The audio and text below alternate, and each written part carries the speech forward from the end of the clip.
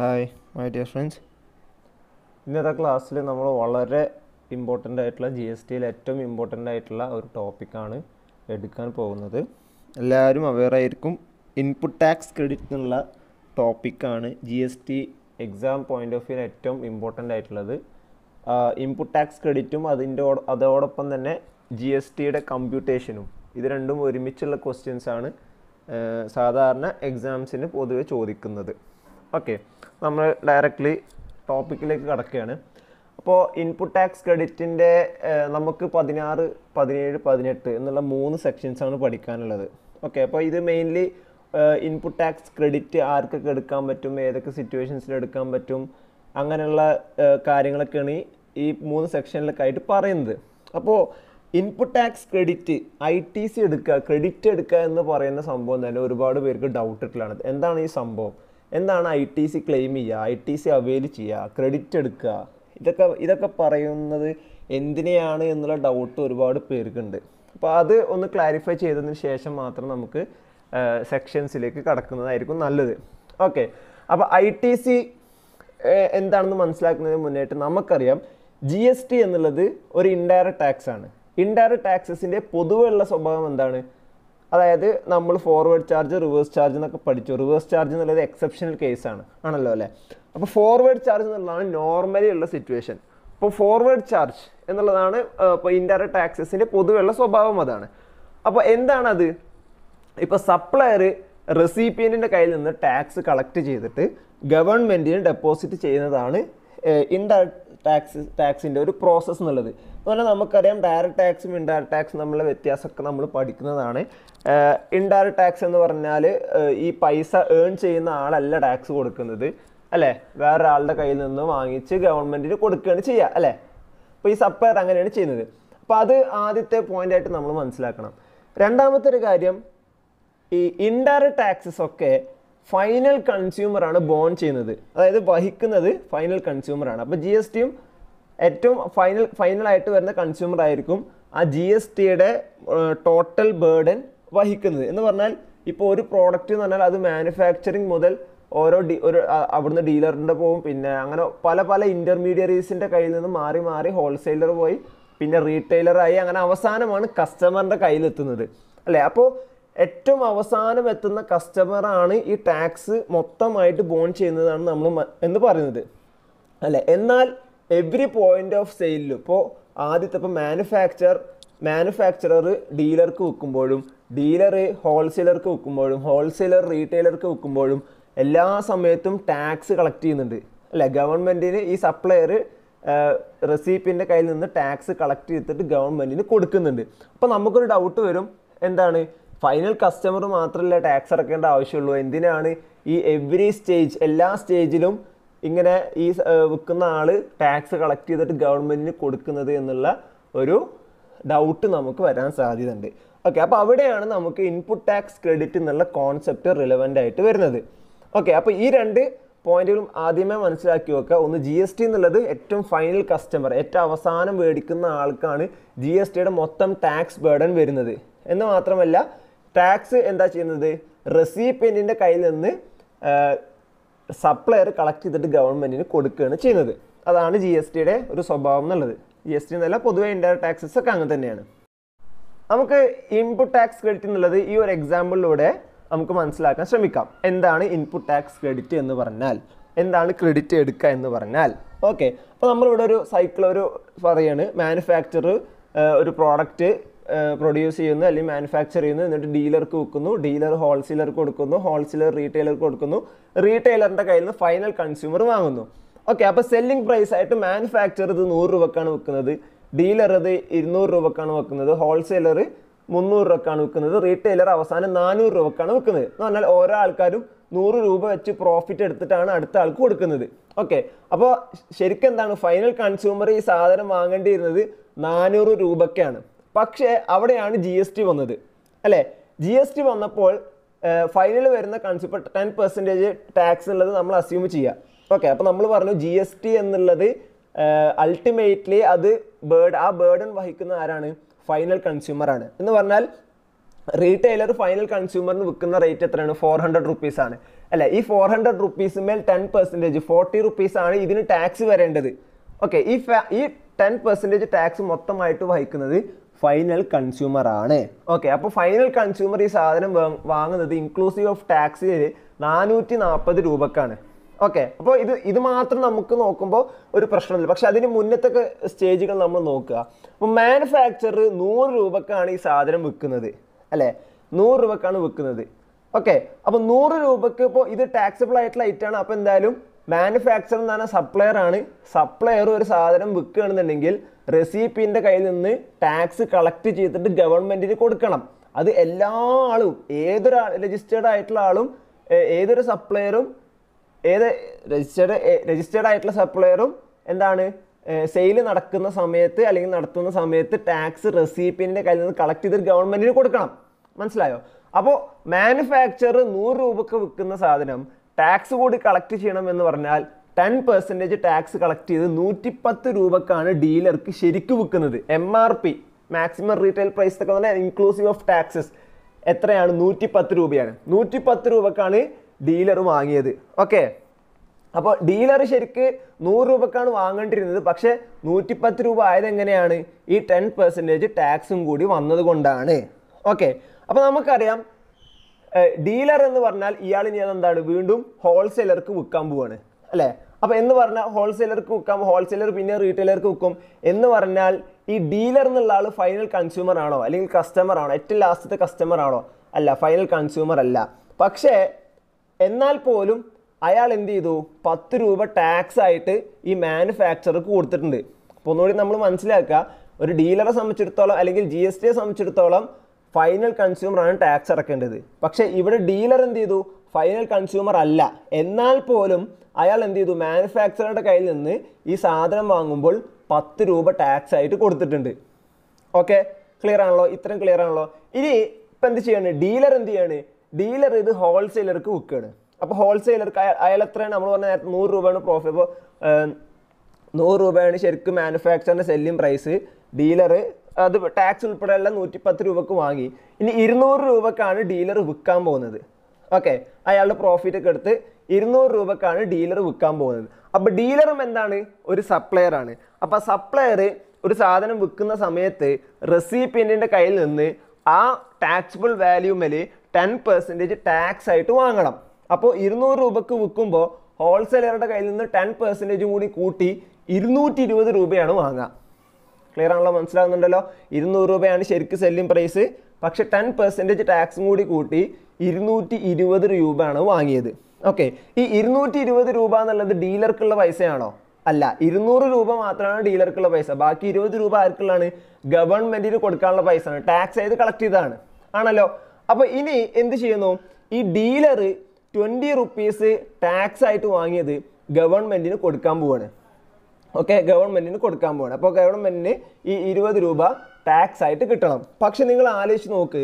ഇവിടെ ഇരുപത് രൂപ മൊത്തമായിട്ട് ഡീലർ ഗവൺമെന്റിന് കൊടുക്കേണ്ട ആവശ്യമുണ്ടോ? ആവശ്യമുണ്ടോ? കാരണം എന്താണ്? ആവശ്യമില്ല. കാരണം എന്താണ്? ഡീലർ ഓൾറെഡി മാനുഫാക്ചറുടെ കയ്യിൽ നിന്ന് ഈ സാധനം വാങ്ങുമ്പോൾ നൂറ് രൂപക്ക് വാങ്ങേണ്ട സാധനം നൂറ്റി പത്ത് രൂപക്കാണ് വാങ്ങിയത്. ഈ നൂറ്റി നൂറ് എന്നുള്ള നൂറ്റി പത്ത് രൂപ ആയത് എങ്ങനെയാണ്? ടെൻ പെർസെന്റേജ് ടാക്സും കൂടി കൂട്ടിയിട്ടാണ്. അല്ലെ? എന്ന് പറഞ്ഞാൽ already ten rupees dealer tax ആയിട്ട് കൊടുത്തിട്ടുണ്ട്.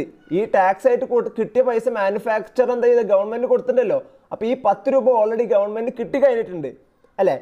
ഇനി ഡീലർ ഹോൾസെയിലർക്ക് വിൽക്കുമ്പോൾ ഇരുപത് രൂപയായിട്ട് ടാക്സ് മേടിച്ചു.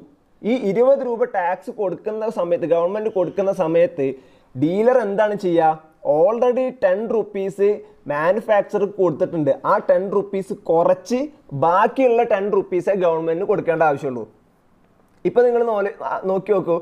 നൂറ്റി പത്ത് രൂപക്കാണ് മാനുഫാക്ചറുടെ കയ്യിൽ നിന്ന് ഇയാൾ വാങ്ങിയത്. പത്ത് രൂപ ടാക്സ് ആയിരുന്നു. അല്ലേ? അപ്പോൾ നമ്മൾ നേരത്തെ പറഞ്ഞു ഫൈനൽ കൺസ്യൂമർ ആണ് ടാക്സ് വഹിക്കേണ്ടത്. പക്ഷേ ഇവിടെ ഡീലർ ടെൻ റുപ്പീസ് ടാക്സ് വഹിച്ചു. പക്ഷേ ഇയാൾ ഇത് എങ്ങനെ തിരിച്ചെടുത്തു? ഹോൾസെയിലറിന്റെ കയ്യിൽ നിന്ന് ഇരുപത് രൂപ ടാക്സ് കളക്ട് ചെയ്തിട്ട് ഇരുപത് രൂപ ഗവൺമെന്റ് കൊടുക്കുന്നതിന് പകരം നേരത്തെ ഓൾറെഡി അയാൾ വഹിച്ച പത്ത് രൂപ കുറച്ച് ബാക്കി പത്ത് രൂപ മാത്രമാണ് ഗവൺമെന്റിന് കൊടുത്തത്. എന്ന് പറഞ്ഞാൽ ഇവിടെ എന്ത് വരുന്നില്ല? ഡീലർക്ക് ടാക്സ് ഫസ്റ്റ് സ്റ്റേജിൽ അയാൾ ടാക്സ് വഹിച്ചു. പക്ഷെ ആ ടാക്സ് അയാൾ തിരിച്ചെടുത്തു. ഓക്കെ അപ്പോൾ എഫക്റ്റീവിൽ എന്താ സംഭവിക്കുന്നുള്ളൂ? ഇയാൾ നൂറ് രൂപക്ക് വാങ്ങിയതായിട്ട് എഫക്റ്റീവിൽ സംഭവിക്കുന്നുള്ളൂ. എന്നിട്ട് ഇരുന്നൂറ് രൂപക്ക് വിറ്റു. അല്ലേ? അപ്പോൾ ഇരുപത് രൂപ ഇയാൾ ടാക്സ് ആയിട്ട് കളക്ട് ചെയ്തു. അപ്പോൾ അത് അയാളുടെ ഇൻകം അല്ല. അയാൾ അത് ഗവൺമെന്റ് കൊടുക്കുകയാണ് ചെയ്തത്. ഗവൺമെന്റ് കൊടുക്കേണ്ട സമയത്ത് ഓൾറെഡി ഇയാൾ അടച്ച പത്ത് രൂപ എന്ത് ചെയ്തു? അതിൽ നിന്ന് മൈനസ് ചെയ്തിട്ട് ബാക്കി പത്ത് രൂപയാണ് കൊടുത്തത്. ഓക്കെ? അപ്പോൾ എഫക്റ്റീവിൽ എന്താ സംഭവിച്ചുള്ളൂ? ഇയാൾ ഇരുന്നൂറ് രൂപക്ക് വാങ്ങി നൂറ് രൂപക്ക് വാങ്ങിയിട്ട് ഇരുന്നൂറ് രൂപക്ക് സെയിൽ സെയിൽ ചെയ്തതായിട്ട് ഇവിടെ സംഭവിച്ചിട്ടുള്ളൂ. ഓക്കെ? ക്ലിയർ ആണല്ലോ? അപ്പോൾ ഇനി നമ്മൾ പറയാം. അപ്പോൾ ഇൻപുട്ട് ടാക്സ് ഔട്ട്പുട്ട് ടാക്സ് എന്നൊക്കെ നമ്മൾ കേട്ടിട്ടുണ്ട്. ഔട്ട്പുട്ട് ടാക്സ് എന്ന് പറഞ്ഞാൽ എന്താണ്? ഇപ്പോൾ ഞാൻ ഡീലറെ സംബന്ധിച്ചിടത്തോളം ഇരുന്നൂറ് രൂപ അയാൾ ഇരുന്നൂറ് രൂപയ്ക്ക് ഇയാൾ വിൽക്കുന്ന സമയത്ത് പ്ലസ് ടെൻ പെർസെന്റേജും കൂടിയും ടാക്സ് കളക്ട് ചെയ്ത് ഗവൺമെന്റിന് കൊടുക്കണം. അതായത് ഇവിടെ ഇരുന്നൂറ്റി ഇരുപത് രൂപക്കാണ് വിറ്റത്. അതിലെ ഇരുപത് രൂപ. ഈ ഇരുപത് രൂപയാണ് ഔട്ട്പുട്ട് ടാക്സ് എന്ന് പറഞ്ഞാൽ tax payable on outward supply അല്ലെ? ഔട്ട്വേർഡ് സപ്ലൈ എന്ന് പറഞ്ഞാൽ സെയിൽ അങ്ങോട്ട് പുറത്തേക്ക് പോകുന്ന സപ്ലൈ അപ്പോൾ ഔട്ട്വേർഡ് സപ്ലൈ മേൽ ടാക്സ് കളക്ട് ചെയ്ത് ഗവൺമെന്റിന് കൊടുക്കേണ്ട. അതാണ് tax payable tax payable on outward supply ആണ് എന്ത്? ഔട്ട്പുട്ട് ടാക്സ് ഓക്കെ ഇനി ഇൻപുട്ട് ടാക്സ് എന്ന് പറഞ്ഞാൽ എന്താ? ഇപ്പൊ ഈ ഡീലർ തന്നെ നൂറ് രൂപക്ക് വാങ്ങേണ്ട സാധനം നൂറ്റി പത്ത് രൂപയാണ് വാങ്ങിയത്. അതിൽ പത്ത് രൂപ എന്താണ്? ടാക്സ് ആണ്. ഓക്കെ അപ്പൊ ഈ ടാക്സിനാണ് നമ്മൾ എന്ത് പറയുന്നത്? Input tax input tax paid on inward supply input tax paid on inward supply ഇതാണ് ഇൻപുട്ട് ടാക്സ് ഇനി input tax credit. Input tax credit എന്ന് പറഞ്ഞാൽ എന്താ? ഇപ്പൊ ഞാൻ പറഞ്ഞു നൂറ് രൂപക്ക് വാങ്ങേണ്ട സാധനം നൂറ്റി പത്ത് രൂപക്കാണ് ഡീലർ വാങ്ങിയത്. ഈ പത്ത് രൂപ എന്താണ്? ടാക്സ് ആയിട്ടാണ് വന്നത്. പക്ഷേ ആക്ച്വലി ഈ ഡീലർ എന്നുള്ള ആൾ ഫൈനൽ കൺസ്യൂമർ അല്ല. അപ്പോൾ അതുകൊണ്ട് ഇയാൾ ഈ പത്ത് രൂപ വഹിക്കേണ്ട ആവശ്യമില്ല. അപ്പോൾ ഈ പത്ത് രൂപ ഇയാൾക്ക് തിരിച്ചു കിട്ടണം. കിട്ടണ്ടേ? എന്ന് പറഞ്ഞാൽ ഈ ഇൻപുട്ട് ടാക്സ് എന്നുള്ള ഇൻവേർഡ് സപ്ലൈ ഇയാൾ അടച്ചിട്ടുള്ള ടാക്സ് ഇയാൾക്ക് തിരിച്ച് കിട്ടണം. അത് അയാളുടെ റൈറ്റ് ആണ്. ഈ റൈറ്റിന് നമ്മൾ പറയുന്ന പേരാണ് ഇൻപുട്ട് ടാക്സ് ക്രെഡിറ്റ് അപ്പോൾ ഈ ഡീലർക്ക് എന്ത് സംഭവിച്ചു? ഈ മാനുഫാക്ചറുടെ കയ്യിൽ നിന്ന് നൂറ്റിപ്പത്ത് രൂപക്ക് നൂറ്റിപ്പത്ത് രൂപ കൊടുത്തിട്ട് ഡീലർ ഈ സാധനം വാങ്ങുന്നതോട് കൂടിയിട്ട് പത്ത് രൂപ ഇൻപുട്ട് ടാക്സ് ക്രെഡിറ്റ് ആർക്കുണ്ടായി? ഡീലർക്ക് ഉണ്ടായി ക്ലിയർ ആണല്ലോ? ഈ ഇൻപുട്ട് ടാക്സ് ക്രെഡിറ്റ് എന്താ ചെയ്യുക ഗവൺമെന്റിന് ഇയാൾ കൊടുക്കേണ്ട ടാക്സ്. ഇയാൾ കൊടുക്കേണ്ട ടാക്സ് എന്ന് പറഞ്ഞാൽ എന്താ?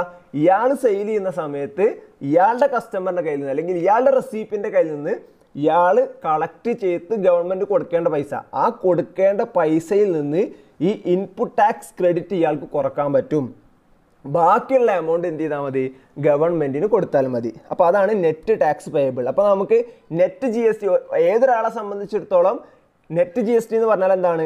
Output tax payable minus input tax paid അല്ലെങ്കിൽ input tax credit output tax payable minus input tax credit okay അതാണ് net G S T payable അപ്പോൾ ഇവിടെ ഡീലറെ സംബന്ധിച്ചിടത്തോളം നോക്കുക. അതിന്റെ രണ്ടാമത്തെ മൂന്നാമത്തെ ടേബിളിൽ നോക്കുക താഴെ. ടാക്സ് പേയബിൾ ടു ഗവൺമെന്റ് ഇരുപത് രൂപയാണ്. ഇരുപത് രൂപയാണ് ഇയാൾ കളക്ട് ചെയ്തത്. അപ്പോൾ tax already paid at the time of purchase എന്ന് പറഞ്ഞാൽ അതെന്താണ്? ഇൻപുട്ട് ടാക്സ് ക്രെഡിറ്റ് ആ ഇൻപുട്ട് ടാക്സ് ക്രെഡിറ്റ് എത്രയാണ്? പത്ത് രൂപയാണ്. അപ്പോൾ ഇരുപത് രൂപയിൽ നിന്ന് പത്ത് രൂപ കുറച്ച് ബാക്കി പത്ത് രൂപയാണ് ഗവൺമെന്റിന് കൊടുക്കുന്നത്. ഓക്കെ. ഇതേപോലെയാണ് എല്ലാ സിറ്റുവേഷനിലും ഹോൾസെയിലർ എന്ത് ചെയ്യുന്നു? ഇരുന്നൂറ്റി ഇരുപത് രൂപക്ക് ഡീലറുടെ കയ്യിൽ നിന്ന് വാങ്ങി അതിൽ ഇരുപത് രൂപ ടാക്സ് ആണ്. എന്ന് പറഞ്ഞാൽ ഇരുപത് രൂപയാണ് ഹോൾസെയിലറിന്റെ ഇൻപുട്ട് ടാക്സ് ക്രെഡിറ്റ് ഈ ഹോൾസെയിലർ മുന്നൂറ് രൂപയ്ക്ക് ഇത് റീറ്റെയിലർക്ക് വിൽക്കുന്ന സമയത്ത് പത്ത് രൂപ കൂടി ടാക്സ് വാങ്ങുന്നു. അല്ലേ? അപ്പോൾ മുപ്പത് രൂപയാണ് അവിടെ ഔട്ട്പുട്ട് ടാക്സ് അപ്പോൾ മുപ്പത് രൂപ ഗവൺമെന്റ് കൊടുക്കേണ്ടതാണ്. പക്ഷെ ഓൾറെഡി ഇരുപത് രൂപ at the time of purchase ഇയാൾ ടാക്സ് അടച്ചിട്ടുണ്ട്. അപ്പോൾ മുപ്പതിൽ നിന്ന് ഇരുപത് കുറച്ചാൽ ബാക്കി പത്ത് രൂപയാണ് ആർക്ക് കൊടുക്കേണ്ടത്? ഗവൺമെന്റിന് കൊടുക്കേണ്ടത്. ഇതേപോലെ തന്നെയാണ് റീറ്റെയിലറിന്റെ കാര്യവും. നാനൂറ്റി നാൽപ്പത് രൂപക്കാണ് ഇയാൾ വിറ്റത്. മുന്നൂറ്റി മുപ്പത് രൂപക്കാണ് വാങ്ങിയത്. അപ്പോൾ നാൽപ്പത് രൂപ ഔട്ട്പുട്ട് ടാക്സ് ഉണ്ട് മുപ്പത് രൂപ ഇൻപുട്ട് ടാക്സ് ക്രെഡിറ്റ് ഉണ്ട്. നാൽപ്പതിൽ നിന്ന് മുപ്പത് രൂപ കുറച്ചാൽ ബാക്കി പത്ത് രൂപ. അങ്ങനെ അവിടെയും ഗവൺമെന്റിന് ഇയാൾ കൊടുക്കുന്നത് പത്ത് രൂപയാണ്. അങ്ങനെ- അവസാനം ഫൈനൽ കൺസ്യൂമർ എത്ര രൂപ കിട്ടുന്നു? നാനൂറ്റി നാൽപ്പത് രൂപയ്ക്ക് ഈ പറഞ്ഞ പ്രോഡക്റ്റ് കിട്ടുന്നു. ഈ ഫൈനൽ കൺസ്യൂമർ എന്ത് ചെയ്യാൻ പറ്റില്ല? ഇൻപുട്ട് ടാക്സ് ക്രെഡിറ്റ് ഒന്നും എടുക്കാൻ പറ്റില്ല. കാരണം എന്താണ്? ഫൈനൽ കൺസ്യൂമറാണ് ടോട്ടൽ ടാക്സ് ബോൺ ചെയ്യേണ്ടത് വഹിക്കേണ്ടത്. അപ്പോൾ ഇനി നമ്മൾ നോക്ക് ടോട്ടൽ ഫൈനൽ കൺസ്യൂമർ ശരിക്കും നാനൂറ് രൂപ കിട്ടേണ്ടതാണ്. നാൽപ്പത് രൂപ ടാക്സ് കൂടി വന്നിട്ടാണ് എത്ര ആയത്? നാനൂറ്റി നാൽപ്പതായത് ഈ നാൽപ്പത് രൂപ ഗവൺമെന്റിന് കിട്ടിയത് എങ്ങനെയാണ്? മാനുഫാക്ചർ പത്ത് രൂപ കൊടുത്തു ഡീലർ പത്ത് രൂപ കൊടുത്തു ഹോൾസെയിലർ പത്ത് രൂപ കൊടുത്തു റീറ്റെയിലർ പത്ത് രൂപ കൊടുത്തു. ഇങ്ങനെയാണ് ഗവൺമെന്റിന് ടാക്സ് കിട്ടിയിട്ടുള്ളത്. ഇതാണ് നമ്മൾ എന്താ പറയുക ചെയിൻ ഓഫ് ക്രെഡിറ്റ് എന്നൊക്കെ പറയുന്നത്. അപ്പോൾ ഒരാൾ മാറി ഒരു ചെയിൻ പോലെയാണ്. ഒരു ചങ്ങല പോലെയാണ്. അങ്ങനെ പല പല ആൾക്കാരും ഇതിങ്ങനെ ഇങ്ങനെ കണക്റ്റഡ് ആയിട്ടാണ് ഉള്ളത് അങ്ങനെയാണ് ഗവൺമെന്റിന് കിട്ടുക. ഓക്കെ ഇതിന്റെ കൂടെ തന്നെ നമ്മൾ മനസ്സിലാക്കേണ്ട പോയിന്റ് ജി എസ് ടി എന്നുള്ള എന്താണ് വാല്യൂ ആഡഡ് ടാക്സ് ആണെന്ന് കൂടി പറയുന്നുണ്ട്. വാല്യൂ ആഡഡ് ടാക്സ് എന്ന് പറഞ്ഞാൽ എത്ര വാല്യൂ ഇപ്പോൾ ഒരു സ്റ്റേജിൽ നിന്ന് അടുത്ത സ്റ്റേജിലേക്ക് പോകുമ്പോൾ എത്ര വാല്യൂ ആണോ കൂടിയിട്ടുള്ളത് ആ വാല്യൂമേലെ അഡീഷണൽ ടാക്സ് വരുള്ളൂ. എന്ന് പറഞ്ഞാൽ ഇവിടെ മാനുഫാക്ചർ നൂറ് രൂപക്ക് വിറ്റു. അപ്പോൾ പത്ത് രൂപ ടാക്സ് വന്നു. അടുത്ത ഡീലർ ഇരുന്നൂറ് രൂപക്കാണ് വിൽക്കുന്നത്. അല്ലേ? ഇരുന്നൂറ് രൂപക്ക് വിൽക്കാന്ന് പറയുമ്പോൾ നൂറ് രൂപയിൽ നിന്ന് ഇരുന്നൂറ് രൂപ ആകുമ്പോൾ എത്ര കൂടി? നൂറ് രൂപ കൂടി.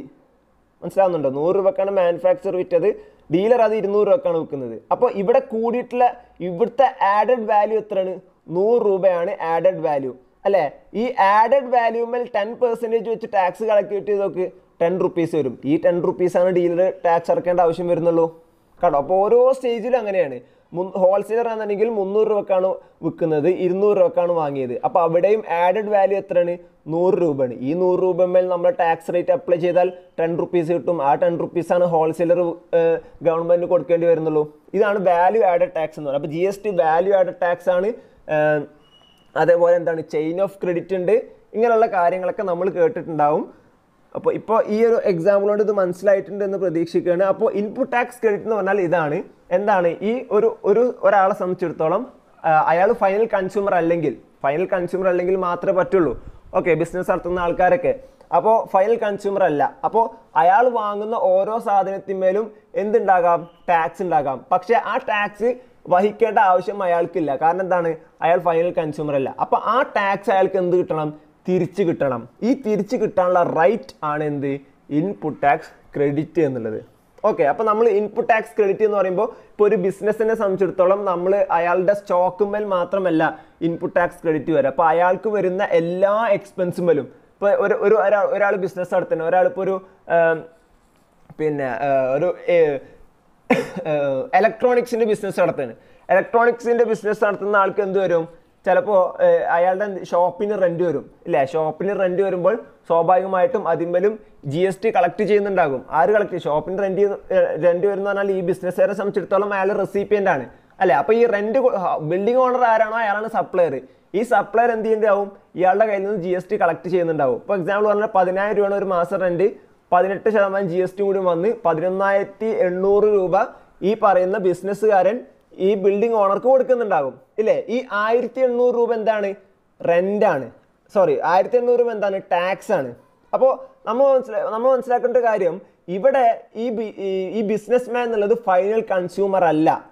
ഇയാൾ ഈ റെന്റ് കൊടുക്കുന്നത് എന്തിനാണ്? ബിസിനസ് നടത്താൻ വേണ്ടിയിട്ടാണ്. അപ്പം ബിസിനസ് നടത്താൻ വേണ്ടിയിട്ടാണെന്ന് പറഞ്ഞാൽ ഫർദർ സപ്ലൈക്ക് വേണ്ടിയിട്ടാണ്. അപ്പോൾ മനസ്സിലാക്കണം നമ്മൾ അപ്പോൾ ഇയാൾക്ക് എന്ത് പറ്റും? ഇൻപുട്ട് ടാക്സ് ഈ ആയിരത്തി എണ്ണൂറ് രൂപ എന്നുള്ളത് ഇയാൾക്ക് ഇൻപുട്ട് ടാക്സ് ക്രെഡിറ്റ് ആയിട്ട് എടുക്കാൻ പറ്റും. എന്ന് പറഞ്ഞാൽ ഇയാൾക്ക് വരുന്ന എല്ലാ എക്സ് ഒരു ബിസിനസ്സുകാരെ സംബന്ധിച്ചിടത്തോളം അയാൾക്ക് വരുന്ന എല്ലാ എക്സ്പെൻസുമേലും വരുന്ന ടാക്സുകൾ അത് അയാൾക്ക് എന്ത് ചെയ്യാൻ പറ്റും? ഇൻപുട്ട് ടാക്സ് ക്രെഡിറ്റ് ആയിട്ട് എടുക്കാൻ പറ്റും. അപ്പോൾ അതിന്റെ ഒരു അസംഷൻ എന്താണ്? അയാൾ ഈ പറയുന്ന സർവീസ് അല്ലെങ്കിൽ ഈ പറയുന്ന ഗുഡ്സ് ഇയാൾ വാങ്ങുന്നത് ഫർദർ സപ്ലൈക്ക് വേണ്ടിയിട്ടാണ്. അയാൾ ബിസിനസ് നടത്താൻ വേണ്ടിയിട്ടാണ്. എന്ന് പറഞ്ഞാൽ ഇയാളല്ല ഫൈനൽ കൺസ്യൂമർ എന്നുള്ള അസംഷനിലാണ് അങ്ങനെ ഐ ടി സി എടുക്കുന്നത്. അപ്പോൾ ഒരാളെ സംബന്ധിച്ചിടത്തോളം ഒരു ബിസിനസ് നടത്തുന്ന ഒരാളെ സംബന്ധിച്ചിടത്തോളം ഒരുപാട് ഐ ടി സി അയാൾക്കുണ്ടാവും ഒരുപാട് ഇൻപുട്ട് ടാക്സ് ക്രെഡിറ്റ് അയാൾക്ക് കിട്ടാനുണ്ടാകും. അപ്പോൾ അയാൾ എടുക്കുന്ന അപ്പോൾ അയാളൊരു ഒരു ട്രേഡർ ആണെന്നുണ്ടെങ്കിൽ അയാൾ എടുക്കുന്ന സ്റ്റോക്കുമലൊക്കെ ഉണ്ടാകും. അതേപോലെ ഈ പറഞ്ഞ പോലെ റെന്റും ഉണ്ടാകും. ചിലപ്പോൾ ടെലിഫോൺ ബില്ലും ഉണ്ടാകും. അതേപോലെ പിന്നെ ഓഡിറ്റ് ഫീ ഉണ്ടാകും. റിപ്പയർ മെയിന്റനൻസ് ഇതിനൊക്കെ ഉണ്ടാകും. അപ്പോൾ എന്തുണ്ടാകും? ഇയാൾ ഈ എക്സ്പെൻസ് പൈസ കൊടുക്കുന്ന സമയത്ത് പ്ലസ് ജി എസ് ടി കൂടിയും കൊടുക്കുന്നുണ്ടാകും. അപ്പോൾ ഇങ്ങനെ കൊടുക്കുന്ന ജി എസ് ടികളെല്ലാം എന്ത് ചെയ്യാൻ പറ്റും? ഇയാൾക്ക് ഇൻപുട്ട് ടാക്സ് ക്രെഡിറ്റ് ആയിട്ട് എടുക്കാൻ പറ്റും. ഈ ഇൻപുട്ട് ടാക്സ് ക്രെഡിറ്റ് എന്നുള്ളത് എപ്പോഴാണ് യൂസ് ചെയ്യുന്നത്? ഇനി ഇയാളുടെ ബിസിനസ് ഉണ്ടാകും. ഇപ്പം ഞാൻ നേരത്തെ പറഞ്ഞ ഇലക്ട്രോണിക്സ് കട എന്നുണ്ടെങ്കിൽ ഇലക്ട്രോണിക്സ് ബിസ് അയാളുടെ ഇലക്ട്രോണിക്സ് എക്യുപ്മെൻസ് ഇയാൾ വിൽക്കുമ്പോൾ ഇയാൾ എന്ത് ചെയ്യും? ഇയാളുടെ കസ്റ്റമേഴ്സിന്റെ കയ്യിൽ നിന്ന് ടാക്സ് കളക്ട് ചെയ്യും. അതാണ് ഔട്ട്പുട്ട് ടാക്സ് ഈ ടാക്സ് കളക്ട് ചെയ്തിട്ട് ഗവൺമെന്റിന് കൊടുക്കേണ്ടതാണ്. അപ്പോൾ ഇങ്ങനെ കൊടുക്കേണ്ട ടാക്സിൽ നിന്ന് ഈ നേരത്തെയുള്ള ഇൻപുട്ട് ടാക്സ് ക്രെഡിറ്റുകളെല്ലാം കുറച്ച് ബാക്കിയുള്ള ടാക്സ് മാത്രം ഗവൺമെന്റിന് കൊടുത്താൽ മതി. ഓക്കെ അപ്പോൾ അതാണ് ഇൻപുട്ട് ടാക്സ് ക്രെഡിറ്റിന്റെ കോൺസെപ്റ്റ് എന്നുള്ളത്. ക്ലിയർ ആയി എന്ന് വിശ്വസിക്കുകയാണ്. ഓക്കെ ഇനി എന്തെങ്കിലും ഡൗട്ട് ഉണ്ടെങ്കിൽ എന്നോട് ചോദിച്ചാൽ മതി. കുറച്ച് ഡെഫിനിഷൻസ് നോക്കാം. ഇമ്പോർട്ടന്റ് ആയിട്ടുള്ള ക്യാപിറ്റൽ ഗുഡ്സ് ക്യാപിറ്റൽ ഗുഡ്സ് എന്ന് എന്താണ്? Value of which is capitalise in the books of accounts അതായത് ഇപ്പോൾ നമ്മളുടെ പിന്നെ അക്കൗണ്ട്സിലൊക്കെ നമ്മൾ പഠിക്കുന്ന ബാലൻസ് ഷീറ്റൊക്കെ പ്രിപ്പയർ ചെയ്യുന്ന സമയത്ത് നമ്മൾ ചെയ്യുമല്ലോ ക്യാപിറ്റലൈസ് ചെയ്യും. ഇപ്പോൾ അസറ്റുകൾ ഉണ്ടാവും ഫിക്സഡ് അസറ്റ് കറണ്ട് അസറ്റ് അങ്ങനെയൊക്കെ ഉണ്ടാവുമല്ലോ. അപ്പോൾ ഈ ഫിക്സഡ് അസറ്റുകളൊക്കെ എന്താണ്? അതിമേലൊക്കെ നമ്മൾ ഡിപ്രിസിയേഷൻ ക്ലെയിം ചെയ്യും. അതിനാണ് അങ്ങനത്തെ അങ്ങനത്തെ അസറ്റുകളാണ് ക്യാപിറ്റലൈസ് ചെയ്യുന്ന അസറ്റുകൾ ഓക്കെ അപ്പോൾ അങ്ങനെ ബുക്സ് ഓഫ് അക്കൗണ്ട്സിൽ ക്യാപിറ്റലൈസ് ചെയ്തിട്ടുള്ള എല്ലാ അസറ്റുകളും ജി എസ് ടിയെ സംബന്ധിച്ചിടത്തോളം ക്യാപിറ്റൽ ഗുഡ്സ് തന്നെയാണ്. ഈ ഗുഡ്സ് എന്തായിരിക്കണം? Used or intend to be used in the course of furtherance of business ബിസിനസ്സിന് വേണ്ടി യൂസ് ചെയ്യുന്ന അസറ്റുകളായിരിക്കണം ഇൻപുട്ട് ഇൻപുട്ട് എന്ന് പറഞ്ഞാൽ നമ്മൾ നമ്മൾ ബിസിനസ്സിന്റെ ഭാഗമായിട്ട് നമ്മൾ വാങ്ങുന്ന ഗുഡ്സ്. ഓക്കെ എന്ന് പറഞ്ഞാൽ ക്യാപിറ്റൽ ഗുഡ്സ് അല്ലാത്ത ബാക്കി എല്ലാ ഗുഡ്സും അപ്പോൾ സ്റ്റോക്ക് വരാം. അതല്ലാതെ തന്നെ ഇപ്പോൾ നമ്മൾ എന്തെങ്കിലും ഓഫീസിന്റെ ആവശ്യത്തിന് സ്റ്റേഷനറി വാങ്ങണം അത് വരാം. അതേപോലെ ഓഫീസിലേക്ക് ഫർണിച്ചർ വാങ്ങണേ എ സി വാങ്ങണം ഇതൊക്കെ എന്താണ്? ഇൻപുട്ടുകളാണ് ഓക്കെ അതും അവിടെയും used or intend to be used in the course of furtherance of business ആയിരിക്കണം. ഇൻപുട്ട് സർവീസസ് എന്ന് പറയുമ്പോൾ ഈ പറയുന്ന പോലെ തന്നെ ബിസിനസ്സിന് വേണ്ടി നമ്മൾ നമ്മൾ മേടിക്കുന്ന സർവീസുകൾ നേരത്തെ ഞാൻ പറഞ്ഞതുപോലെ റെന്റൽ റെന്റൽ ചാർജസ് റെന്റൽ സർവീസുകൾ telephone service audit audit service ഇതൊക്കെ. ഇതൊക്കെയാണ് ഇൻപുട്ട് സർവീസ് ഇൻപുട്ട് ടാക്സ് എന്താണ്? ഇൻപുട്ട് ടാക്സ് എന്ന് പറഞ്ഞാൽ ഈ പറയുന്ന ഇൻപുട്ടുമലും ഇൻപുട്ട് സർവീസസുമലും നമ്മൾ അടക്കുന്ന ടാക്സ് അതാണ് ഇൻപുട്ട് ടാക്സ് അത് വിച്ച് ഓൾസോ ഇൻക്ലൂഡ്സ് എന്താണ്? ഞാൻ മുന്നേ പറഞ്ഞിട്ടുണ്ടായിരുന്നു ഇമ്പോർട്ട് ചാർജ് എന്നുള്ള ചാപ്റ്ററിൽ പറഞ്ഞിട്ടുണ്ടായിരുന്നു.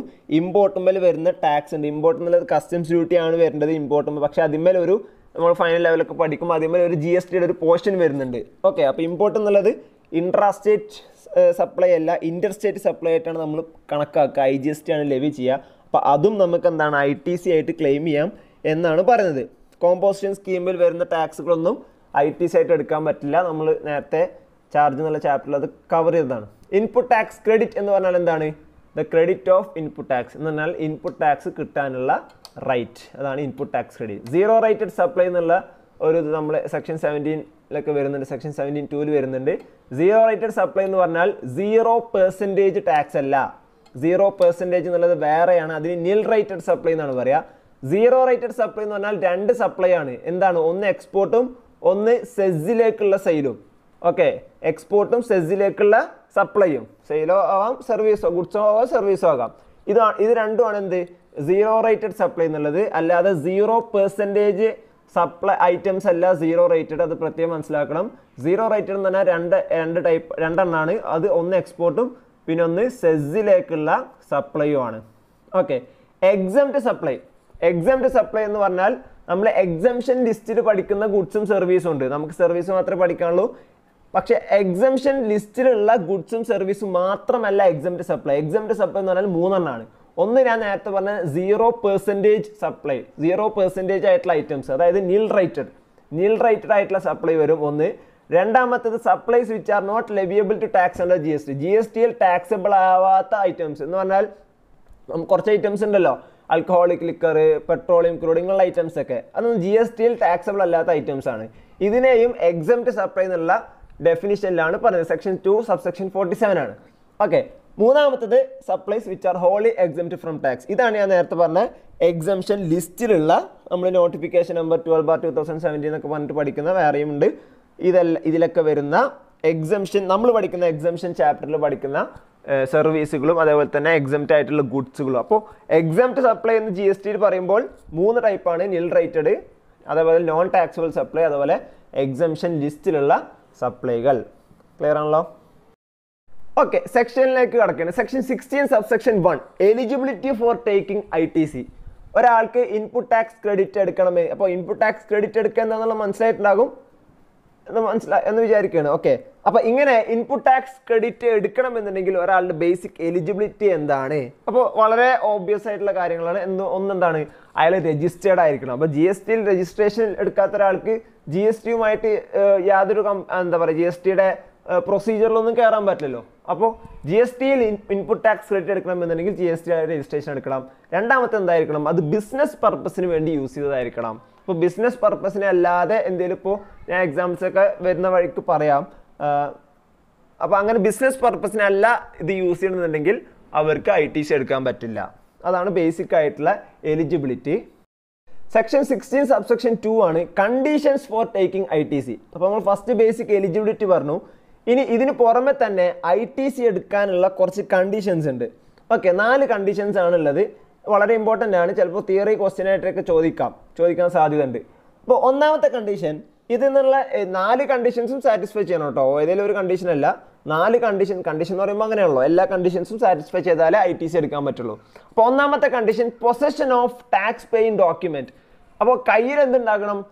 ടാക്സ് പെയിന്റ് അപ്പോൾ ടാക്സ് ഇൻവോയ്സ് ആയിരിക്കാം. അതല്ലെങ്കിൽ ഡെബിറ്റ് നോട്ട് ആകാം ബിൽ ഓഫ് എൻട്രി ആകാം റിവൈസ്ഡ് ടാക്സ് ഇൻവോയ്സ് ആകാം. ഇതൊക്കെ ആയിരിക്കും. അപ്പോൾ നമ്മൾക്കിപ്പോൾ ഞാൻ എന്ത് ചെയ്യാണ് ഇപ്പോൾ ഇപ്പോൾ ഓരോ മാസം റിട്ടേൺ ഫയൽ ചെയ്യാൻ പോകുമ്പോൾ ഞാൻ ഒരു എനിക്കൊരു സപ്ലൈ പർച്ചേസ് ഉണ്ട് ഇൻവേർട്ട് സപ്ലൈ ഉണ്ട്. ഞാൻ അതിന്റെ ഐ ടി സി എടുക്കാൻ പോവാണ്. അപ്പോൾ ഐ ടി സി എടുക്കാൻ പോകണമെന്ന് ഐ ടി സി എടുക്കണം എന്നുണ്ടെങ്കിൽ ഞാൻ എന്ത് ചെയ്യണം ഈ റിലവന്റ് ആയിട്ടുള്ള ഇൻവോയ്സ് എന്താണെന്ന് വെച്ചാൽ അല്ലെങ്കിൽ ഏത് ഡോക്യുമെന്റ് ആണെങ്കിലും ടാക്സ് പേയിങ് ഡോക്യുമെന്റ് ആണെങ്കിലും അത് ഞാൻ സബ്മിറ്റ് ചെയ്യണം. എന്ന് പറഞ്ഞാൽ അതാണ് അവിടെ ഉദ്ദേശിക്കുന്നത്. Possession of tax paying document കയ്യിൽ എന്തുണ്ടാവണം ഈ ഡോക്യുമെന്റ് ഉണ്ടാകണം. ഈ ഡോക്യുമെന്റ് എന്തിനാണ്? ഐ ടി സി ഞാൻ അടച്ചു എന്നതിന്റെ തെളിവാണ് ടാക്സ് ഈ ഡോക്യുമെന്റ് നമ്മൾ ഓൾറെഡി ഇൻവോയ്സിന്റെ ചാപ്റ്ററിലൊക്കെ അത് പറഞ്ഞതാണ്.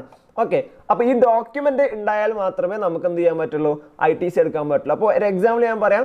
ഇപ്പോൾ നമ്മൾ സെയിലൊക്കെ ഇപ്പോൾ സെയിൽ നടത്തിയപ്പോൾ ഞാൻ എനിക്ക് ഗുഡ്സ് ഒക്കെ കിട്ടി. പക്ഷേ അയാൾ എനിക്ക് ഇൻവോയ്സ് തന്നിട്ടുണ്ടായിരുന്നില്ല. ആര്? എന്റെ സപ്ലയർ അപ്പോൾ എനിക്ക് ഇൻവോയ്സ് കിട്ടണം സോറി ഇൻവോയ്സ് കിട്ടിയാലേ എന്തുണ്ടാവുള്ളൂ? ഈ പറയുന്ന ഐ ടി സി എടുക്കാൻ പറ്റുള്ളൂ. ഇത് ഇൻവോയ്സ് കിട്ടിയിട്ട് വേണം എന്ത് ചെയ്യാൻ? ഈ ജി എസ് ടി പോർട്ടലിൽ ഇത് അപ്ലോഡ് ചെയ്യാനായിട്ട്. അപ്പോൾ ഇൻവോയ്സ് ഇല്ലാതെ എന്ത് കിട്ടില്ല? ഐ ടി സി കിട്ടില്ല. ഓക്കെ രണ്ടാമത്തത് receipt of goods or services ഏതൊരു സപ്ലൈയെ സംബന്ധിച്ചിടത്തോളമാണോ അല്ലെങ്കിൽ ഏതൊരു supply in respect of which supply we are taking I T C ഏത് ഐ ടി ഏത് സപ്ലൈക്ക് വേണ്ടിയാണോ നമ്മൾ ഐ ടി സി എടുക്കുന്നത്? ആ ഐ ടി സി പിന്നെ സോറി ആ സപ്ലൈ എന്താണ്? ആ സപ്ലൈ കിട്ടിയിട്ടുണ്ടാകണം. അപ്പം ഗുഡ്സ് ആണെന്നുണ്ടെങ്കിൽ ഗുഡ്സ് ഇയാളുടെ കയ്യിൽ കിട്ടിയിട്ടുണ്ടാകണം. സർവീസസ് ആണെന്നുണ്ടെങ്കിൽ സർവീസസ് ഇയാൾ സ്വീകരിച്ചിട്ടുണ്ടാവണം. അങ്ങനെ എന്നുണ്ടെങ്കിൽ മാത്രമേ ഐ ടി സി എടുക്കാൻ പറ്റുള്ളൂ. അപ്പോൾ ഓൾറെഡി എന്ത് ചെയ്തിട്ടുണ്ടാവും? ചിലപ്പോൾ എക്സാമ്പിൾ പറയാം ഇയാൾ അഡ്വാൻസ് ഒക്കെ കൊടുത്തു. അഡ്വാൻസ് പേയ്മെന്റ് ഒക്കെ കൊടുത്തിട്ടുണ്ട്. പക്ഷേ ഗുഡ്സ് ഇങ്ങോട്ട് കിട്ടിയിട്ടില്ല. ഓക്കെ ഗുഡ്സ് കിട്ടിയിട്ടില്ലെങ്കിൽ എന്തുണ്ടാ എന്ത് എന്ത് കിട്ടില്ല? ഐ ടി സി എടുക്കാൻ പറ്റില്ല. ഓക്കെ അപ്പോൾ അതിന്റെ ഒരു താഴെ ഒരു സംഭവം വരുന്നുണ്ട്. അതെന്താണ്? ഇപ്പോൾ നമുക്ക് എന്ത് സംഭവിക്കാം? ഇപ്പോൾ ഞാൻ ഒരു ബൾക്കായിട്ടൊരു ഗുഡ്സ് എടുക്കും. ഇപ്പോൾ വൺ ടണ്ണിന്റെ ഗുഡ്സ് വൺ ടണ്ണിന്റെ ഗുഡ്സ് എടുത്തിട്ട് ഇവരോട് പറയുന്നത് നാല് ഇൻസ്റ്റാൾമെന്റ്സ് ആയിട്ട് എനിക്ക് തന്നാൽ മതി. അല്ലെങ്കിൽ നാല് തവണയായിട്ട് ഈ ഗുഡ്സ് എനിക്ക് എത്തിച്ചു തന്നാൽ മതി. അപ്പോൾ ചിലപ്പോൾ പേയ്മെന്റ് ഒക്കെ ഓൾറെഡി കൊടുത്തിട്ടുണ്ടാകും. ചിലപ്പോൾ ടോട്ടൽ ഈ വൺ ടണ്ണിന്റെ ഇൻവോയ്സ് ഒക്കെ ചിലപ്പോൾ കിട്ടിയിട്ടുണ്ടാകും. എന്നാലും ഗുഡ്സ് ഇയാൾക്ക് സപ്ലൈ ചെയ്യുന്നത് തവണകളായിട്ടാണ്. അപ്പോൾ നാല് ഇൻസ്റ്റാൾമെന്റ്സ് ആയിട്ടാണ് കൊടുക്കുന്നത്. അപ്പോൾ നമുക്ക് ഫസ്റ്റത്തെ ഇപ്പോൾ നമുക്ക് വൺ ടൺ എന്നാണല്ലോ പറഞ്ഞത്. അപ്പോൾ ഈക്വൽ ഇൻസ്റ്റാൾമെന്റ്സ് എന്നുണ്ടെങ്കിൽ ടു ഫിഫ്റ്റി കെ ജി വെച്ചിട്ട് ഓരോ ഇൻസ്റ്റാൾമെന്റിൽ കിട്ടും. അപ്പോൾ നമ്മൾ ഫസ്റ്റ് പറഞ്ഞത് റെസിപ്റ്റ് ഓഫ് ഗുഡ്സ് എന്നുള്ളത് ഒരു ഒരു രണ്ടാമത്തെ ഏറ്റവും വലിയൊരു കണ്ടീഷനാണ് ഐ ടി സി എടുക്കാൻ. അപ്പോൾ ഈ two fifty K G goods കിട്ടുന്ന സമയത്ത് ടു ഫിഫ്റ്റിക്ക് പ്രൊപ്പോർഷനേറ്റ് ആയിട്ടുള്ള ഐ ടി സി എടുക്കാൻ പറ്റില്ല. അപ്പോൾ ഈ ടോട്ടൽ ലോട്ട് എന്ന് പറഞ്ഞാൽ ഈ വൺ ടണ്ണ് ഫുള്ള് ഗുഡ്സ് കിട്ടിക്കഴിഞ്ഞാലേ എന്ത് ചെയ്യാൻ പറ്റുള്ളൂ? ഐ ടി സി എടുക്കാൻ പറ്റുള്ളൂ അപ്പോൾ നാല് മാസം കൊണ്ടാണ് ഈ ഐ ടി സി അല്ലെ നാല് മാസം കൊണ്ടാണ് ഗുഡ്സ് ഇയാൾ റിസീവ് ചെയ്യുന്നുണ്ടെങ്കിൽ ഈ നാല് മാസം കഴിയുന്നത് വരെ എന്ന് പറഞ്ഞാൽ ഗുഡ്സ് മൊത്തം കിട്ടുന്നത് വരെ ഇയാൾ എന്ത് ചെയ്യണം? വെയിറ്റ് ചെയ്യേണ്ടി വരും. എന്നാൽ മാത്രമേ എന്ത് കിട്ടുള്ളൂ? ഇവർക്ക് ഐ ടി സി എടുക്കാൻ പറ്റുള്ളൂ. മൂന്നാമത്തെ കണ്ടീഷൻ ആക്ച്വലി മൂന്നാമത്തെ കണ്ടീഷൻ മെറ്റീരിയലൊക്കെ ഉള്ളത് ഈ കണ്ടീഷനില്ല നാലാമത്തെ കണ്ടീഷനാണിത് അപ്പോൾ ഞാൻ ആദ്യം അത് പറയാം. ഫയലിംഗ് ഓഫ് റിട്ടേൺ ആരാണ് ഫയലിംഗ് ഓഫ് റിട്ടേൺ ആരാണ് ഐ ടി സി എടുക്കുന്നത്? റെസിപ്പിയന്റ് ആണല്ലോ ഐ ടി സി എടുക്കുന്ന ആൾ അല്ലേ? റെസിപ്പിയന്റ് ആണ് റെസിപ്പിന്റെ ആംഗിളിലാണ് നമ്മൾ ഐ ടി സിയുടെ കാര്യമൊക്കെ പറയണത് ഇതുവരെ. ഓക്കെ അപ്പോൾ നമ്മൾ ഇതുവരെ പറഞ്ഞ എല്ലാ എക്സാമ്പിളും എല്ലാ കണ്ടീഷനും പൊസഷൻ ഓഫ് ടാക്സ് പോയിസ് ഡോക്യുമെന്റ് എന്നാൽ ഈ റെസിപ്പിയന്റെ കയ്യിലാണ് ടാക്സ് പേയിങ് ഡോക്യുമെന്റ് റെസിപ്പി നമ്മൾ പറയാൻ കാരണം എന്താ? ഐ ടി സി എന്നുള്ള എന്താണ്? പർച്ചേസിന്മേലുള്ള ഇൻപുട്ട് ടാക്സിന് ക്രെഡിറ്റ് ആണ്. പർച്ചേസ് എന്ന് പറഞ്ഞാൽ എന്താണ്? റെസിപ്പിയന്റ് ആണല്ലോ. അപ്പോൾ അതുകൊണ്ടാണ് അങ്ങനെ പറയുന്നത്. ഓക്കെ റെസിപ്റ്റ് ഓഫ് ഗുഡ്സ് എന്ന് പറഞ്ഞാലും റെസിപ്പിന്റെ കയ്യിൽ ഗുഡ്സ് കിട്ടിയിട്ടുണ്ട്. ഫയലിംഗ് ഓഫ് റിട്ടേൺ ഇപ്പോൾ ഇയാൾ എന്ത് ചെയ്യണം? എല്ലാ മാസത്തോ ഇപ്പോൾ പിന്നെ സാധാരണ എല്ലാ രജിസ്റ്റേർഡ് പേഴ്സൺസും എന്ത് ചെയ്യണം? ഓരോ മാസം റിട്ടേൺ ഫയൽ ചെയ്യണം. ഈ റിട്ടേൺ ഫയൽ ചെയ്യുന്നതോടും കൂടിയിട്ട് ഐ ടി സി എടുക്കാൻ പറ്റുള്ളൂ. ഓക്കെ നെക്സ്റ്റ് ഇപ്രാവശ്യം വന്ന ഒരു അമെൻമെന്റ് ഉള്ളതുകൊണ്ടാണ് ഞാനത് നാലാമത്തേക്ക് വെച്ചത്. ശരിക്കും മൂന്നാമത്തെ കണ്ടീഷനാണ് ഓക്കെ നാലാമത്തെ കണ്ടീഷനാണ് ഈ റിട്ടേൺ ഫയൽ ചെയ്യണമെന്നുണ്ടായിരുന്നത്. മൂന്നാമത്തെ കണ്ടീഷനാണ് ഇപ്പം ഞാൻ പറയാൻ പോകുന്നത്. Okay tax leviable on supply actually paid to government ആരാണ്? ബൈ ദി സപ്ലയർ ഓക്കെ അപ്പോൾ നമ്മൾ ഇതുവരെ പറഞ്ഞു ഇപ്പോൾ എ എന്നുള്ള ആൾ ബിക്ക് എന്ത് കൊടുത്തു? പതിനായിരം രൂപയുടെ ഒരു ഒരു ഗുഡ്സ് വിറ്റു. അതുമേൽ പന്ത്രണ്ട് ശതമാനം ജി എസ് ടി അപ്പോൾ പതിനൊന്നായിരത്തി ഇരുന്നൂറ് രൂപക്കാണ് വിറ്റത്. ആയിരത്തി ഇരുന്നൂറ് രൂപയാണ് ജി എസ് ടി ഈ ആയിരത്തി ഇരുന്നൂറ് രൂപ ആരാണ് ഐ ടി സി ആയിട്ട് ക്ലെയിം ചെയ്യണത്? ബി ആണ് ഐ ടി സി ആയിട്ട് ക്ലെയിം ചെയ്യണത് ഓക്കെ അപ്പോൾ ബി ആണ് റെസിപ്പിയന്റ് ഓക്കെ ഇവിടെ പറയുന്നത് എന്താ? Tax leviable on supply actually pay to government എന്ന് പറഞ്ഞാൽ ആര് ഗവൺമെന്റ് കൊടുക്കണം എന്നാണ് പറയുന്നത് സപ്ലയർ കൊടുക്കണം. ഓക്കെ അപ്പോൾ പതിനൊന്നായിരത്തി ഇരുന്നൂറ് രൂപക്കാണ് വിറ്റത്. അതിൽ ആയിരത്തി ഇരുന്നൂറ് രൂപ ഐ ടി സി ആണ്. അല്ലെങ്കിൽ ഇൻപുട്ട് ടാക്സ് ആണ്. ഓക്കെ ഇൻപുട്ട് ടാക്സ് ആണ് ആർക്ക്? ബിക്ക് മനസ്സിലാകുന്നുണ്ടോ പതിനൊന്നായിരത്തി ഇരുന്നൂറ് രൂപയാണ് സാധനം വിറ്റത്. ആയിരത്തി ഇരുന്നൂറ് രൂപ ജി എസ് ടി ആണ്. അപ്പോൾ ഈ ആയിരത്തി ഇരുന്നൂറ് രൂപ രൂപ എന്നുള്ളത് എനെ സംബന്ധിച്ചിടത്തോളം ഔട്ട്പുട്ട് ടാക്സ് ആണ്. ബീനെ സംബന്ധിച്ചിടത്തോളം ഇൻപുട്ട് ടാക്സ് ആണ്. ഓക്കെ നമ്മൾ ഇൻപുട്ട് ടാക്സ് ക്രെഡിറ്റ് എടുക്കുന്ന കാര്യമാണ് പറയുന്നത് എന്ന് പറഞ്ഞാൽ ബിക്ക് ഇൻപുട്ട് ടാക്സ് ക്രെഡിറ്റ് എടുക്കുന്ന കാര്യമാണ് നമ്മൾ പറയുന്നത് ഇവിടെ പറയുന്നത് എന്താണ്? Tax leviable on such supply pay to government ആര് കൊടുക്കണം? By the supplier output tax ഈ എ എന്നുള്ള ആൾ പിന്നെ ബിയുടെ കയ്യിൽ നിന്ന് ആയിരത്തി ഇരുന്നൂറ് രൂപ ടാക്സ് ആയിട്ട് കളക്ട് ചെയ്തിട്ടുണ്ട്. ടാക്സ് കളക്ട് ചെയ്തു എന്നതുകൊണ്ട് മാത്രം ബിക്ക് ഇത് ഇൻപുട്ട് ടാക്സ് ക്രെഡിറ്റ് ആയിട്ട് എടുക്കാൻ പറ്റില്ല. ഏത് എന്ത് ചെയ്തിട്ടുണ്ടാവണം ഗവൺമെന്റിന് ഇത് കൊടുത്തിട്ടുണ്ടാകണം. അതാണ് പറയുന്നത്. പക്ഷേ ഇതിൽ പ്രാക്ടിക്കൽ ഡിഫിക്കൽട്ടീസ് ഉണ്ടായിരുന്നു. അപ്പം അതുകൊണ്ട് തന്നെ പുതിയ ഒരു അതിലൊരു ക്ലാരിഫിക്കേഷൻ വന്നിട്ട് വളരെ ഇമ്പോർട്ടന്റ് ആണ് ശ്രദ്ധിക്കണം. ഇപ്രാവശ്യം ഷുവർ ക്വസ്റ്റ്യൻ ആണ് ഇത്. ഓക്കെ പുതിയ അമെൻമെന്റ് ആണ്. പുതിയ അമെൻമെന്റ് ആണ് പ്രത്യേകം ശ്രദ്ധിക്കുക. ഈ ഒരു അമെൻമെന്റ് വന്നതോട് കൂടിയിട്ട് നമ്മൾ ഈ പറഞ്ഞ നാലാമത്തെ കണ്ടീഷൻ അതായത് supplier government tax tax tax കൊടുത്താലേ ഐ ടി സി കിട്ടുള്ളൂ എന്ന് പറയുന്ന ആ കണ്ടീഷൻസിന് റിലവൻസ് ഇല്ലാതായി മാറുന്നുണ്ട്. ഓക്കെ ശ്രദ്ധിക്കുക. എന്ന് പറഞ്ഞാൽ നാലാമത്തെ കണ്ടീഷനെ നമ്മൾ ഇഗ്നോർ ചെയ്യുക. പകരം ഇതാണ് നമ്മൾ ചെയ്യേണ്ടത്. അല്ലെങ്കിൽ ഇങ്ങനെ ഇത് ഇത് ഈ സംഭവം ഉണ്ടായാലാണ് ഐ ടി സി കിട്ടുക. അപ്പോൾ ഈ പറയുന്ന പുതിയ അമെൻമെന്റിൽ പറയുന്നത് എന്താണെന്ന് വെച്ചാൽ പിന്നെ സപ്ല റെസിപ്പിയന്റിന് ഐ ടി സി കിട്ടണമെന്നുണ്ടെങ്കിൽ ഈ പറയുന്ന സപ്ലയർ സപ്ലയർ എന്ത് ചെയ്യണം? അയാളുടെ അയാൾ റിട്ടേൺ ഫയൽ ചെയ്യുന്ന സമയത്ത് ജി എസ് ടി ആർ വണ്ണിൽ ഈ പറയുന്ന പർട്ടിക്കുലർ സപ്ലൈ കാണിച്ചിട്ടുണ്ടാകണം. എന്ന് പറഞ്ഞപ്പോൾ നമുക്കറിയാം. G S T R one എന്ന് പറഞ്ഞാൽ എന്താണ്? സാധാരണ ഒരു സപ്ലയർ അയാളുടെ സെയിലുകൾ കാണിക്കുന്ന അല്ലെങ്കിൽ ഔട്ട്വേർഡ് സപ്ലൈകൾ കാണിക്കുന്ന റിട്ടേൺ ആണ് G S T R one okay ഈ ജി ഇപ്പോൾ നമ്മൾ പറയുമ്പോൾ ഈ എ ഞാൻ നേരത്തെ പറഞ്ഞ എക്സാമ്പിൾ എ എന്നുള്ള ആൾ ബിക്ക് പതിനായിരം രൂപയുടെ സെയിൽ നടത്തി. ഓക്കെ ഈ പതിനായിരം രൂപ മേൽ ആയിരത്തി ഇരുന്നൂറ് രൂപ ഐ ടി സി ഉണ്ടായിരുന്നു. അല്ലേ? ഇങ്ങനെ ഈ ആയിരത്തി ഇരുന്നൂറ് രൂപ ഐ ടി സി ബിക്ക് കിട്ടണം എന്നുണ്ടെങ്കിൽ ഈ പതിനായിരം രൂപയുടെ സെയിൽ എ എ ആരാണ് supplier supplier G S T R one file ചെയ്യുന്ന സമയത്ത് അയാളുടെ റിട്ടേണിൽ കാണിച്ചിട്ടുണ്ടാകണം. ഒന്നുകൂടി പറയാം എ എ എന്നുള്ള ആൾ ബിക്ക് പതിനായിരം രൂപയുടെ സെയിൽ നടത്തി ആയിരത്തി ഇരുന്നൂറ് ജി എസ് ടി ആയിട്ട് കളക്ട് ചെയ്തു. ഈ ആയിരത്തി ഇരുന്നൂറ് രൂപ ബിക്ക് ഐ ടി സി ആയിട്ട് കിട്ടണം. ഈ ആയിരത്തി ഇരുന്നൂറ് രൂപ ബിക്ക് എടുക്കാൻ പറ്റണം എന്നുണ്ടെങ്കിൽ എന്ത് ചെയ്യണം? ഈ എ എന്നുള്ള സപ്ലയർ അയാളുടെ ജി എസ് ടി ആർ വണ്ണിൽ ഈ സെയിൽ കാണിക്കണം. എന്നാലേ ഇയാൾക്ക് ഐ ടി സി കിട്ടുള്ളൂ. ഓക്കെ അതാണ് ഇവിടെ പറയുന്നത്. അപ്പോൾ where invoice or debit note has been uploaded by the supplier in his G S T R one അപ്പോൾ അതിന് എന്ത് കിട്ടും? ഫുൾ ഐ ടി സി കിട്ടും. ഓക്കെ അപ്പോൾ ഇനിയിപ്പോൾ ഒരു എക്സാമ്പിൾ ഞാൻ പറയുകയാണ് ഒരാളെ സംബന്ധിച്ചിടത്തോളം ഇപ്പോൾ എ എന്നുള്ള ആൾ രണ്ട് സെയിൽ നടത്തിയിട്ടുണ്ട്. പതിനായിരം രൂപയുടെ ഒരു സെയിൽ നടത്തിയിട്ടുണ്ട്. അയ്യായിരം രൂപയുടെ വേറൊരു സെയിൽ നടത്തിയിട്ടുണ്ട്. പക്ഷേ പതിനായിരം രൂപയുടെ സെയിൽ മാത്രമേ ഈ എ എന്നുള്ള ആൾ ജി എസ് ടി ആർ വണ്ണിൽ കാണിച്ചുള്ളൂ. ഓക്കെ അപ്പൊ ജി എസ് ടി ആർ വണ്ണിൽ കാണിക്കാത്ത ഒരു സെയിലും കൂടി ഉണ്ട്. ഏത്? അയ്യായിരം രൂപ. അപ്പൊ നമ്മൾ പറഞ്ഞു ഇങ്ങനെ ഈ പറയുന്ന ബിക്ക് ഐ ടി സി എടുക്കണം എന്നുണ്ടെങ്കിൽ a G S T R വണ്ണിൽ ഈ സെയിലൊക്കെ കാണിക്കണം. ഓക്കെ അങ്ങനെയാണല്ലോ പറഞ്ഞത്. അപ്പൊ അങ്ങനെ കാണിച്ചിട്ടുണ്ടെങ്കിൽ അതിന്റെ ഫുൾ ഐ ടി സി കിട്ടും. അതാണ് പറഞ്ഞത്. പക്ഷേ ഒരു സെയിലും കൂടി ഉണ്ടായിരുന്നു. രണ്ട് സെയിൽ ഉണ്ടായിരുന്നു. പക്ഷെ ഒരു സെയിൽ മാത്രമേ ഇയാൾ കാണിച്ചുള്ളൂ. രണ്ടാമത്തെ സെയിൽ ഇയാൾ കാണിച്ചില്ല. അപ്പൊ രണ്ടാമത്തെ സെയിൽ കാണിച്ചിട്ടില്ലെങ്കിൽ അതിന്റെ ഐ ടി സി കിട്ടില്ല എന്നല്ലേ അർത്ഥം? ഐ ടി സി കിട്ടില്ല എന്നാണ് അർത്ഥം. പക്ഷേ അവിടെ ഗവൺമെന്റ് അല്ലെങ്കിൽ ഡിപ്പാർട്ട്മെന്റ് ചെറിയൊരു റിലാക്സേഷൻ കൊടുക്കുന്നുണ്ട്. അങ്ങനെ ഏതെങ്കിലും കാരണം എന്താണ്? ഇവിടെ G S T R file file ചെയ്യാത്തത് ഇപ്പോൾ ആര് ഐ ടി സി എടുക്കുന്നത്? റെസിപ്പിയനാണ് ഐ ടി സി എടുക്കുന്നത്. അല്ലേ? റെസിപ്പിയന്റിന് ഐ ടി സി കിട്ടാതാവാൻ കാരണം ആരാ? ജി ഈ ഈ പറയുന്ന സപ്ലയർ ആണ്. Supplier G S T R one file ചെയ്യാത്തത് ഈ റെസിപ്പിയന്റിന് കുറ്റാണോ? അല്ല അതാണ് പറഞ്ഞത്. അപ്പോൾ supplier G S T R one file ചെയ്യാത്തതിന് ഇവിടെ റെസിപ്പിയന്റ് സഫർ ചെയ്യണം. അല്ലെ- അല്ലെങ്കിൽ ജി എസ് ടി ആർ വണ്ണിൽ ഈ പറഞ്ഞ പർട്ടിക്കുലർ സപ്ലൈ കാണിക്കാത്തതിന് ഇവിടെ റെസിപ്പിയന്റ് സഫർ ചെയ്യാണ് ചെയ്യുന്നത്. അപ്പോൾ അതുകൊണ്ട് ഡിപ്പാർട്ട്മെന്റ് എന്ത് ചെയ്യുന്നു?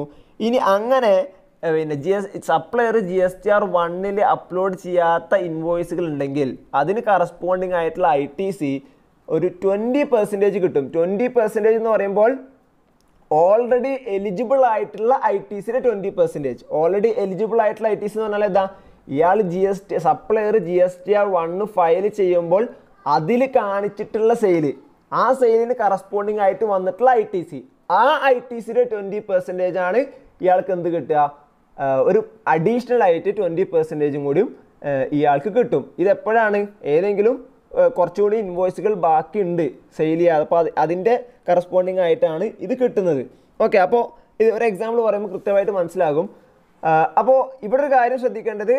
I T C so claim should not exceed the actual eligible I T C available in respect of the invoices not uploaded okay ഇത് ഞാനൊരു എക്സാമ്പിൾ കാണിക്കാം. അപ്പോൾ കൃത്യമായിട്ട് മനസ്സിലാകും.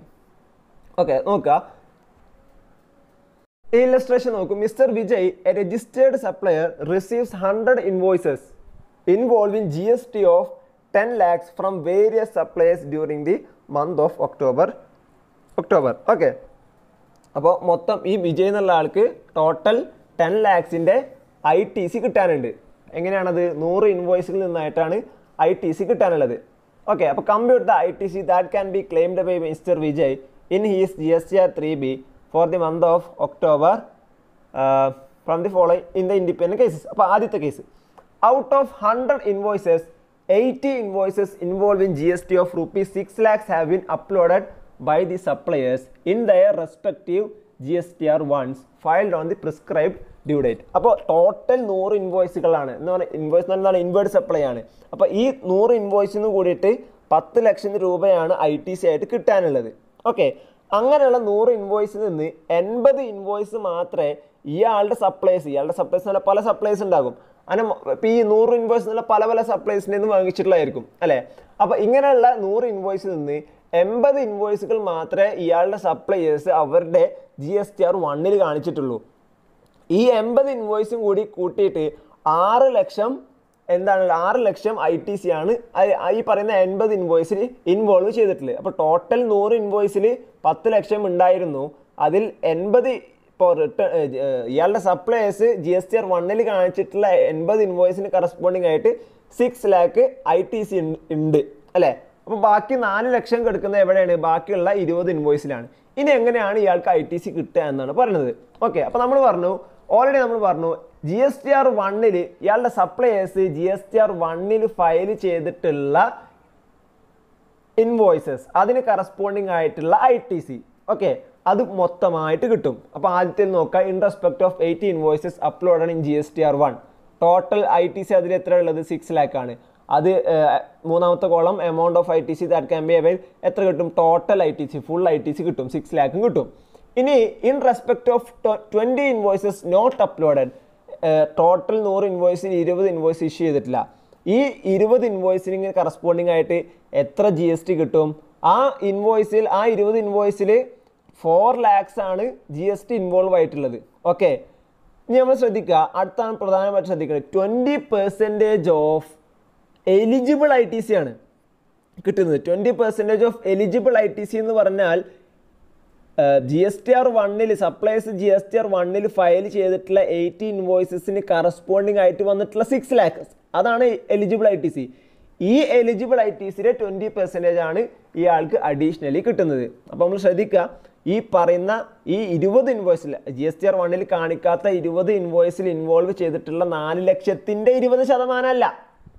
മനസ്സിലാകുന്നുണ്ടോ already G S T R വണ്ണിൽ ഫയൽ ചെയ്തിട്ടുള്ള ഇൻവോയ്സസിന് കറസ്പോണ്ടിങ് ആയിട്ട് വന്നിട്ടുള്ള ഐ ടി സിയുടെ ആ ഐ അതാണ് എലിജിബിൾ ഐ ടി സി ആ എലിജിബിൾ ഐ ടി സിയുടെ ഇരുപത് ശതമാനമാണ് ഇയാൾക്ക് എന്ത് കിട്ടുക?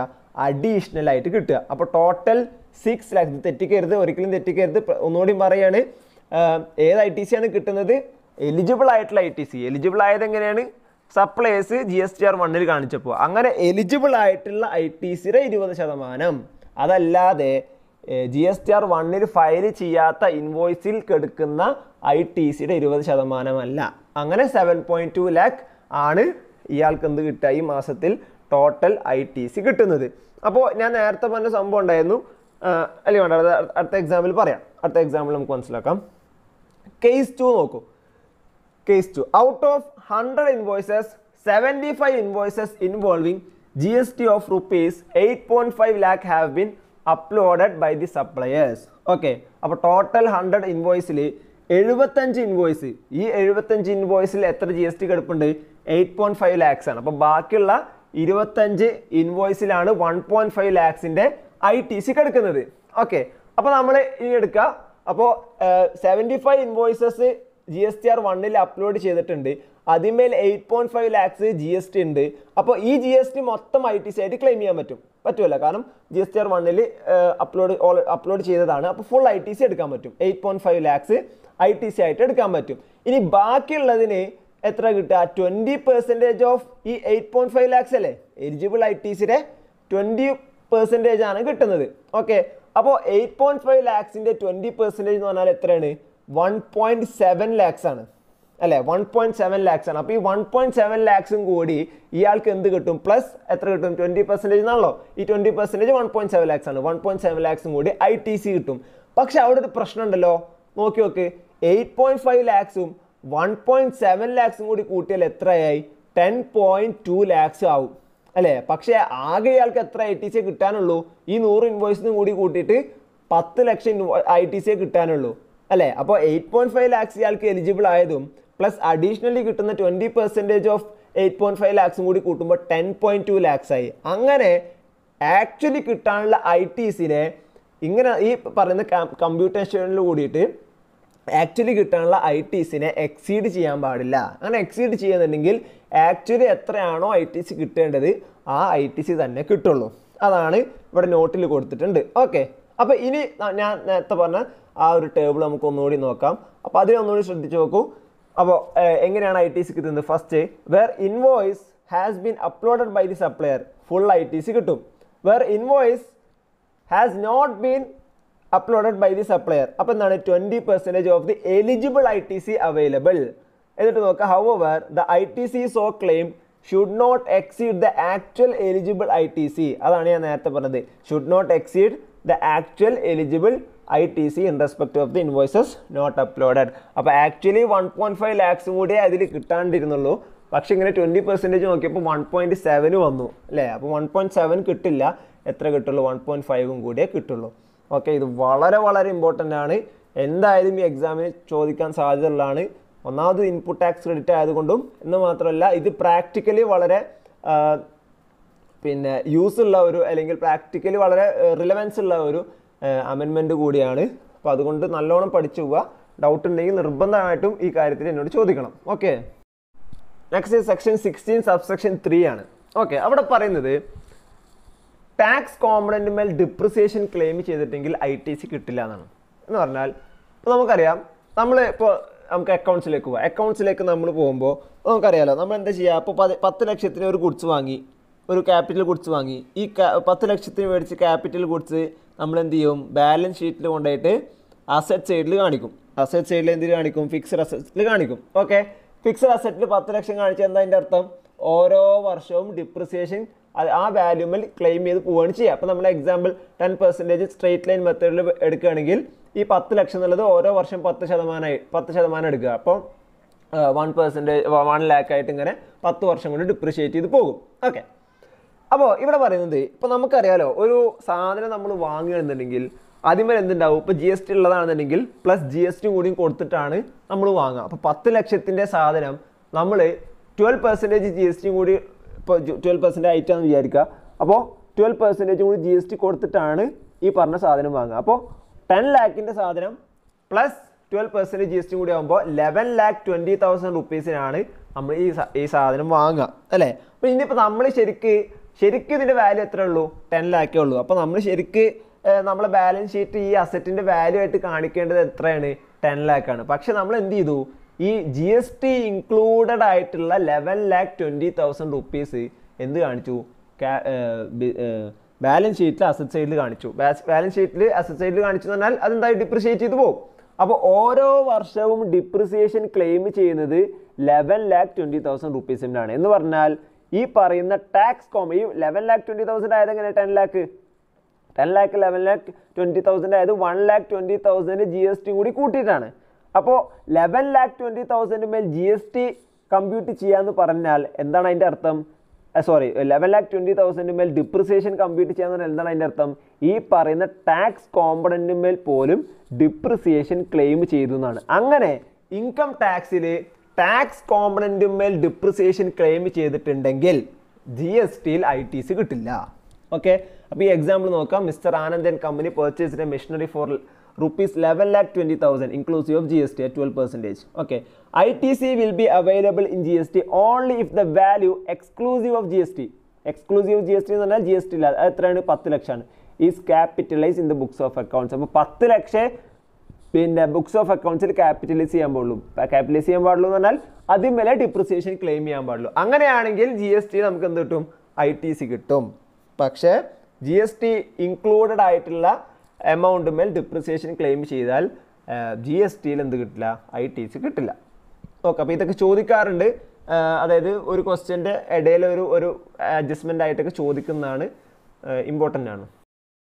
Next sixteen subsection four time limit for availing I T C അപ്പോൾ നമ്മൾ പറയാം നമുക്കറിയാം ഓരോ മാസം ഇപ്പോൾ നമ്മൾ പിന്നെ കണ്ടീഷൻസിൽ പറഞ്ഞല്ലോ സിക്സ്റ്റീൻ ടൂൽ കണ്ടീഷനിൽ നമ്മൾ പറഞ്ഞല്ലോ എന്താണ്?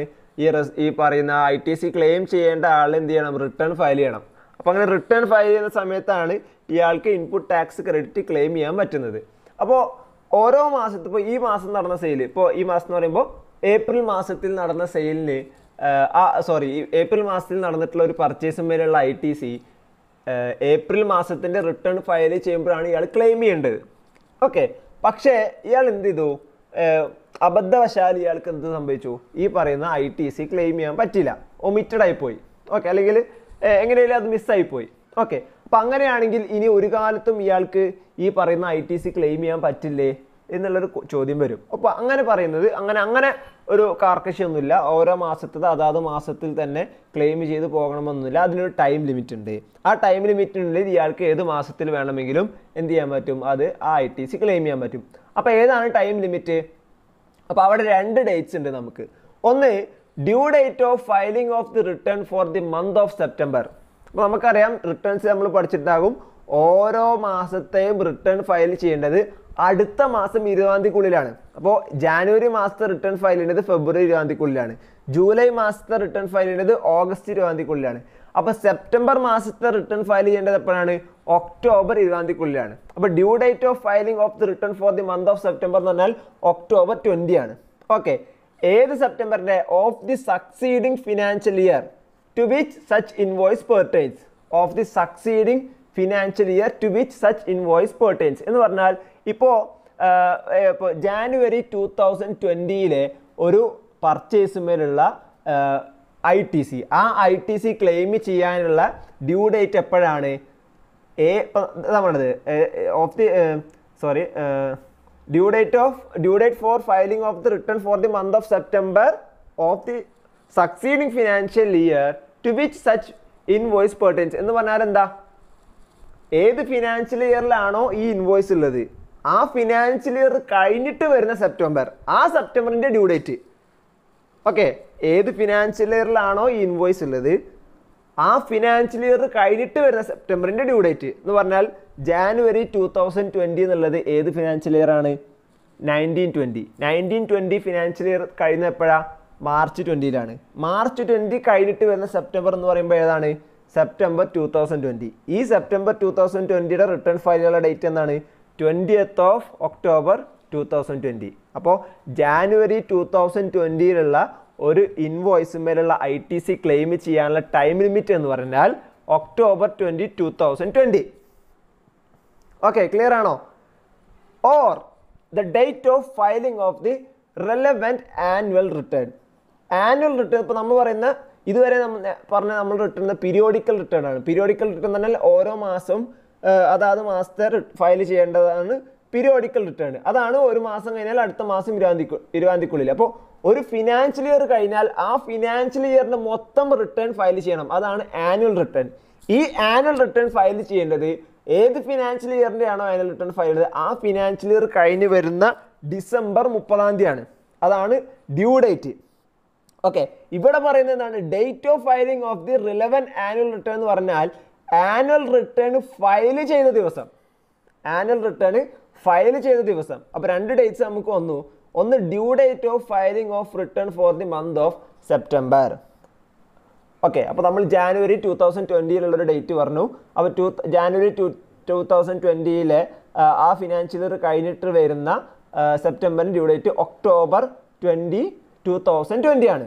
ഓക്കെ ആ ഫിനാൻഷ്യൽ ഇയറിന്റെ ആ ഫിനാൻഷ്യൽ എന്ന് പറഞ്ഞാൽ പത്തൊമ്പത് ഇരുപതാണല്ലോ നയന്റീൻ ട്വന്റി ഫിനാൻഷ്യൽ ഇയറിന്റെ ആനുവൽ റിട്ടേൺ ഫയൽ ചെയ്യാനുള്ള ഡ്യൂ ഡേറ്റ് എന്നാ ഡിസംബർ മുപ്പത്തൊന്നാം തീയതിയാണ് അപ്പോൾ അയാൾക്ക് വേണമെങ്കിൽ മാർച്ച് കഴിഞ്ഞിട്ട് ടു തൗസൻഡ് ട്വന്റി മാർച്ച് കഴിഞ്ഞ് മാർച്ച് മുപ്പത്തൊന്ന് കഴിഞ്ഞിട്ട് അതായത് ഏപ്രിൽ ഒന്നാം തീയതി മുതൽ ഡിസംബർ മുപ്പത്തൊന്നാം തീയതി വരെ ഏത് ദിവസം വേണമെങ്കിലും ഇയാൾക്ക് ആനുവൽ റിട്ടേൺ ഫയൽ ചെയ്യാൻ പറ്റും. ഓക്കെ അപ്പോൾ ഇയാൾ സപ്പോസ് നവംബർ മുപ്പതാം തീയതിയാണ് ആനുവൽ റിട്ടേൺ ഫയൽ ചെയ്തത്. ഓക്കെ നവംബർ മുപ്പതാം തീയതി. അപ്പോൾ നമുക്ക് രണ്ട് ഡേറ്റ്സ് ആയി. അപ്പോൾ ആദ്യത്തെ ഡേറ്റ് സെപ്റ്റംബർ ഡേറ്റ് അതെപ്പോഴും ഒക്ടോബർ ഇരുപതാം തീയതിയാണ്. ഒക്ടോബർ ഇരുപത് ഓർ നവംബർ മുപ്പത്. നവംബർ മുപ്പതാം തീയതിയാണ് ആനുവൽ റിട്ടേൺ ഫയൽ ചെയ്ത ദിവസം. ആനുവൽ ഫയൽ ചെയ്ത ദിവസം. അതാണ് നമ്മൾ എടുക്കേണ്ടത്. ഫയൽ ചെയ്ത ദിവസം അതായത് ഫയൽ ചെയ്യാനുള്ള ഡ്യൂ ഡേറ്റിൽ എടുക്കേണ്ടത്. അപ്പോൾ ആനുവൽ റിട്ടേൺ ഫയൽ ചെയ്ത ദിവസം മുപ്പ നവംബർ മുപ്പതും ഒക്ടോബറിന്റെ ഡ്യൂ ഡേറ്റ് ഒക്ടോബർ മാസത്തിന്റെ ഡ്യൂ ഡേറ്റ് സോറി സെപ്റ്റംബർ മാസത്തിന്റെ ഡ്യൂ ഡേറ്റ് അതാണ് ഒക്ടോബർ ഇരുപത്. അപ്പോൾ ഒക്ടോബർ ഇരുപത് നവംബർ മുപ്പത്. വിച്ച് എവർ ഈസ് ഏർലിയർ ഏതാണ് ആദ്യം? ഒക്ടോബർ ഇരുപതാം തീയതിയാണ് ആദ്യം വരിക. അപ്പോൾ ഒക്ടോബർ ഇരുപതാം തീയതി വരെ ഈ പറയുന്ന പെർട്ടിക്കുലർ ഇൻവോയ്സിന് ജാനുവരി ടു തൗസൻഡ് ട്വന്റിയിൽ വന്നിട്ടുള്ള ഇൻവോയ്സിന്മേലുള്ള ഐ ടി സി ക്ലെയിം ചെയ്യാൻ സമയമുണ്ടാകും.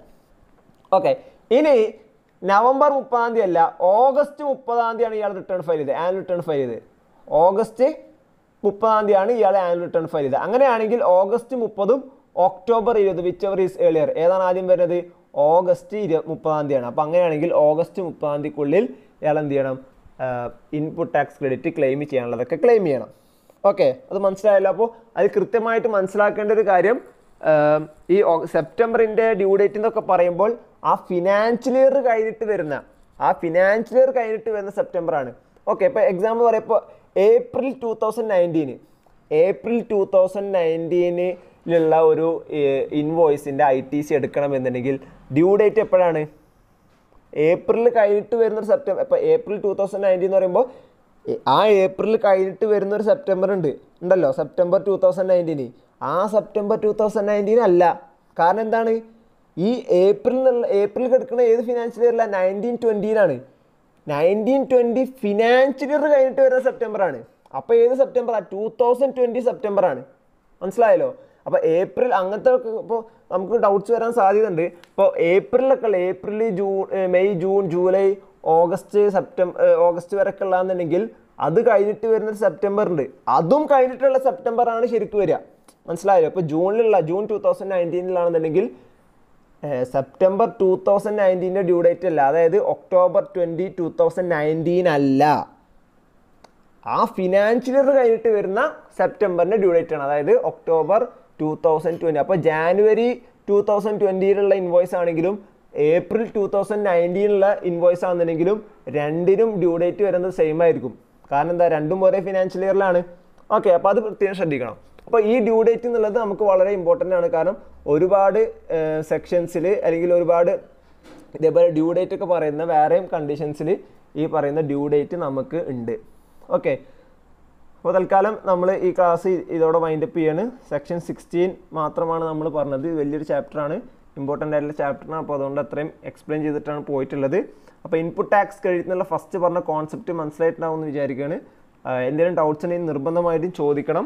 വളരെ ഇമ്പോർട്ടന്റ് ആയിട്ടുള്ള ചാപ്റ്ററാണ് ഇനിയും നമുക്ക് രണ്ട് സെക്ഷൻ പഠിക്കാണ്ട് സെവന്റീൻ ഉണ്ട് എയ്റ്റീൻ ഉണ്ട് അതിന് അത് കഴിഞ്ഞിട്ട് നമുക്ക് കമ്പ്യൂട്ടേഷൻ ഓഫ് ജി എസ് ടിയും കൂടിയും പഠിക്കാനുണ്ട്.